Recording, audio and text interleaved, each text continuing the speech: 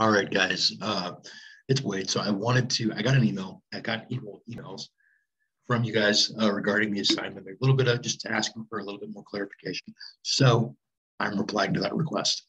Um, here, I, what I wanted to do is I've written an example. Okay, I have a case study for you. Additionally, I've, I've extended this assignment until Monday, 228. Okay, I've given you a few more days as well. Okay, to give you time to wrap your head around this, to digest this example so that you see exactly what I want you to do. Okay. Um, so to be clear, with this example that we're about to go through, right? This one, so this template that's been posted, okay? This is the template, that, the same template you will use for all of your case study assignments for this course, okay? This one happens to be specific to neuro conditions in primary care, okay? That's what this one is specific to. For example, when we get to, uh, you know, getting these done on concussion, clearly, because obviously you're now we're learning about the SCAT-5, your physical exam would obviously include your, your normal neurological exam, your cranial nerve exam, and a SCAT-5 as well, right? So you would actually, you know, take your patient through that uh, in a concussion-based case study, okay? Um, and I can clarify that more when the time comes. But ultimately, this is the template that you would use for all of your assignments. Okay, this one specifically uh, is catered to the neuro conditions in primary care. So let's walk through it. Here it is. Okay. Um, okay. So this guy, this this guy's name is Jerome. Okay. The first thing I've done here, okay, is based on the condition that I've been assigned. I picked a condition known as Bell's palsy. Okay. Um, so what have I done here? Okay, in the very first section, what I did is I have a clinical history consistent with this with this clinical presentation for Bell's palsy. All right, here we go. so Jerome is a 21 year old male that presents with left sided facial paralysis that has been present for the past six hours. He states that he woke up this morning and noticed that the left side of his face was sagging when he was standing at the sink washing his face. He denies any cognitive difficulties and was able to get through class without any significant confusion. He notes that one of his professors looked worried when she saw him and told him he should get that checked out. He notes some slurring of his words or speech as well. He denies any extremity weakness or sensory changes. He endorses a family history of stroke in his maternal grandmother. He denies any known cardiac history in his mother or father. Jerome states that he is very worried about his symptoms he denies any other recurrent illness or systemic, symptoms. He has not taken any medication since the symptoms began. okay, here's the deal. All right. So I presented you guys with, with this history. Okay, obviously, because of what we know about conditions, we should, in this case, be asking a focus history history question about stroke, right? Because if because he's he's presenting, excuse me, with paralysis. So knowing which history questions to ask based on the diagnosis. Okay. Um, so there you go. Presented you with a history that's specific to this concern. Okay. So the big question that we need to ask when writing this section is what would someone with this presentation look like clinically when they come to see you? Okay. All right. Next, next section, physical exam. Okay. So let's walk through this the first thing I did, excuse me, as I said, Jerome's alert and oriented with a GCS, Glasgow Coma Scale of 15. Okay. Spontaneous eye opening, he's verbally intact and he's following my commands. Okay. Pulse is 70 beats per minute, blood pressure is 117 over 78. Why did I do that? Right, because this is because this is an acute presentation. Okay, stroke is on the differential until it's not, right? So here, in this case, because of the focal the, the focal deficit, I'm getting a BP, right? Um, so his BP is 117 over 78. Respirations are normal, are normal and non-labored. Here we go. Station and gait, normal. Transfers, independent without the use of hands. There is noted facial weakness with testing of, C, of uh, C7 uh, Uh, on, on exam. Cranial nerves 2 through 6 and 8 through 12 are normal. Sensation is intact and symmetric throughout the face and neck. Sensation is intact C2 through T2 and L1 through S1. Okay, strength testing is symmetric. C1 through T1 and L1 through S1. Okay, those are my myotomes. Okay, deep tendon reflexes are two plus at the bicep, brachioradialis and triceps, two plus at the patella and Achilles. Hoffman's is negative, negative Babinski's with toes down going. Okay, what did we just read? So, first of all, he's alert and oriented GCS of 50, pulse of 70 beats per minute, blood pressure, normal, respirations, normal. Okay, station and gait, normal.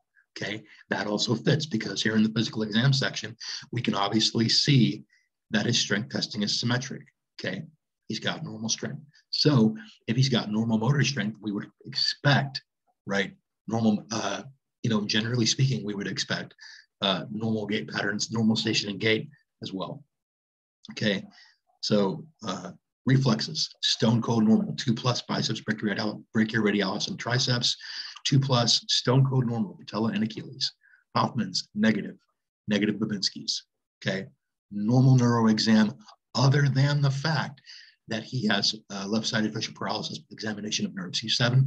So on the left side, the face is drooping. I can't do it, obviously, but drooping. So if he tried to smile, the right side would go up, but the left side would stay down. Okay, so right-sided function, left-sided weakness. Okay, there we go. Okay, radiographic studies. We immediately referred Jerome to the ED for imaging. Okay, so he had a he had a, a diffusion-weighted MRI to rule out tra uh, transient ischemic attack and stroke. That was normal, no evidence of ischemia. Okay, so my assessment, Bell's palsy. Okay, what did I give you guys here, by the way? What's this little number, and this code next to it? Okay, G51.0. Okay, that is the ICD-10 code for Bell's palsy. Where do you find that? Well, let me show you. Okay. One second here, folks. All right, let me share a website with you real fast. Here we go. Here's my website. Okay, you should probably see in front of you icd10data.com. Okay, this is where you'll find your diagnosis codes for your assessment. So I had Bell's palsy. Let's type it in. Bell's palsy. Okay, so here it is. Okay, there's my diagnosis code. Bell's palsy. G51. Okay, point zero. If I had, a, if I had, let's say for example, I had Parkinson's. All right, Parkinson's disease. Okay, diagnosis code here, G20. All right, and it gives you modifiers down here, obviously, as well. Um, so that's that. That's that code. That, that's what that for. That's what that is for. You list just list that next your assessment. You'll be all set. That that easy. All right. Uh, let me unshare this and let me share. I'll get the document back up.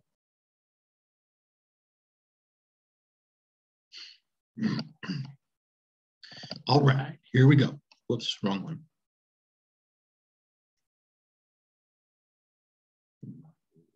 There we go. Here we go. Perfect. Okay.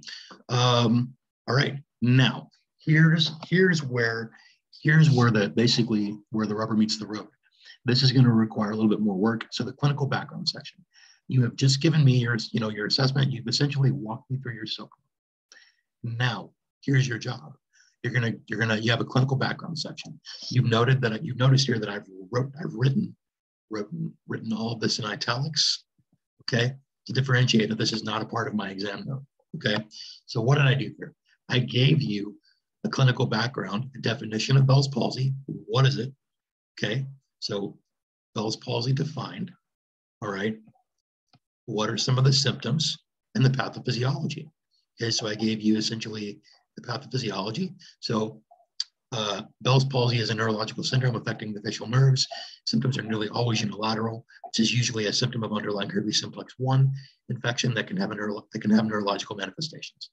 Patients usually present with mild to significant facial nerve dysfunction that can range from mild facial droop to complete to complete hemifacial, so half of the face, hemifacial paralysis. Speech is affected variably in those with Bell's palsy, concomitant with the level of facial nerve involvement. In patients who display facial droop, it is medically appropriate to rule out acute ischemic stroke or transient ischemic attack, as is often um, as this is often a clinical feature of ischemic stroke uh, and associated cerebral, uh, cerebral ischemia and infarct. Treatment for Bell's palsy is very straightforward, including oral steroids and watchful waiting. Patients with persistent symptoms may require prolonged use of steroids for up to 30 days, which is usually relatively, uh, relatively benign, albeit scary condition for patients experiencing this type of neurological involvement. With the appropriate diagnostic work and treatment, this can be treated expediently and restore peace of mind for patients. Clinical background section. So okay develop your history based on what you know. And you're going to have to you know pull up an article or two. You're going to have to learn a little bit about these conditions okay? And what i've done for you here is i've made i've made up a reference in ama format okay? Last name first name title bell's palsy the journal of hes 311 okay? The year journal volume uh, and basically well actually the volume number and the issue number rather in, print, in uh, parentheses colon page number okay there you go. That's the assignment. Okay. Um, if there are any other questions, please let me know, guys. The one thing that I that I always want you to do, and if I have not done a good job at communicating this, I am sorry, but please make sure that if you're confused about an assignment or something doesn't make sense or you don't have enough clarity, all you have to do is ask me. Okay, please ask me. I'm not going to be offended.